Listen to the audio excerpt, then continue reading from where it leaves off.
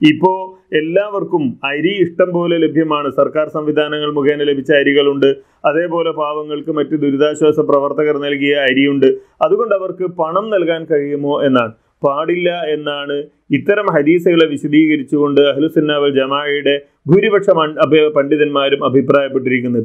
ചില ഒറ്റപ്പെട്ട അഭിപ്രായങ്ങൾ കാണാമെങ്കിലും ഭൂരിപക്ഷം പണ്ഡിതരും ഈ ഹദീസുകളുടെ അടിസ്ഥാനത്തിൽ അത് ഭക്ഷണമായി തന്നെ നാട്ടിലെ പ്രധാനപ്പെട്ട ഭക്ഷ്യവസ്തുവായി തന്നെ നൽകേണ്ടതുണ്ട് എന്ന അഭിപ്രായമാണ് രേഖപ്പെടുത്തിയിരിക്കുന്നത്.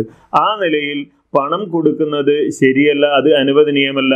ഭക്ഷണം കൃത്യ അരി അത് കൃത്യമായി ആളുകൾക്ക് എത്തിച്ചു കൊടുക്കുക. അതേപോലെ തന്നെ പണ്ടൊക്കെ ഉണ്ടായിരുന്ന സംവിധാനത്തിൽ നിന്ന് ഇസ്ലാഹി പ്രസ്ഥാനത്തിന്റെ പ്രവർത്തനങ്ങളിലൂടെ ഒരുപാട് മാറ്റങ്ങൾ ഉണ്ടായിട്ടുണ്ട്. പണ്ടൊക്കെ പെരുന്നാൾ രാവുകളിൽ തങ്ങൾക്ക് അവകാശപ്പെട്ട അരിക്ക് വേണ്ടി പണക്കാരായ ആളുകളുടെ വീടുകൾ കയറി ഇറങ്ങുന്ന ഒരുപാട് പാവങ്ങളെ നമുക്ക് കാണാൻ കഴിയുമായിരുന്നു. അവർക്ക് പെരുന്നാളിന്റെ രാത്രി സന്തോഷത്തിന്റെതായിരുന്നില്ല. മറിച്ച് വീടുകൾ ചുറ്റിക്കറങ്ങുന്നതിന്റെതായിരുന്നു.